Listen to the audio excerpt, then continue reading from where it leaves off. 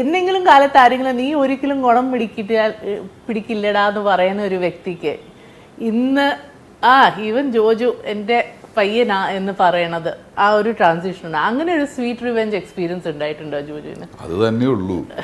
നീ ഒരിക്കലും നന്നാവില്ല എന്നുള്ളത് പറയാത്ത ആൾക്കാർ വളരെ ചുരുക്കം. എന്റെ കൂട്ടുകാരടക്കം എന്റെ ഫ്രണ്ട്സ് അടക്കം. കാരണം അവർ പറഞ്ഞതിലൊന്നും പ്രശ്നം തെറ്റൊന്നുമില്ല. കാരണം നമ്മളൊരു കാര്യത്തിന് വേണ്ടിയിട്ട് പറഞ്ഞിട്ട് ശ്രമിക്കുന്നതിനൊരു ഒരു പരിധി ഉണ്ടല്ലോ ഒരു മൂന്ന് വർഷം. അല്ലെങ്കിൽ നാല് വർഷം പോട്ടെ ഒരു അഞ്ച് വർഷം പോട്ടെ ഒരു എട്ട് വർഷം അല്ലെങ്കിൽ പത്ത് വർഷം. ഇത് അതുകൊണ്ട് നിർത്തിയില്ലല്ലോ. പത്ത് വർഷം കഴിഞ്ഞിട്ടുണ്ടെങ്കിൽ എന്നെ നോക്കിയിട്ട് ഇവൻ നന്നാവാൻ ചാൻസ് ഇല്ല. നീ എന്താടാ ഇങ്ങനെയെന്ന് ചോദിക്കാത്ത ആൾക്കാർ ആരും തന്നെ ഇല്ല.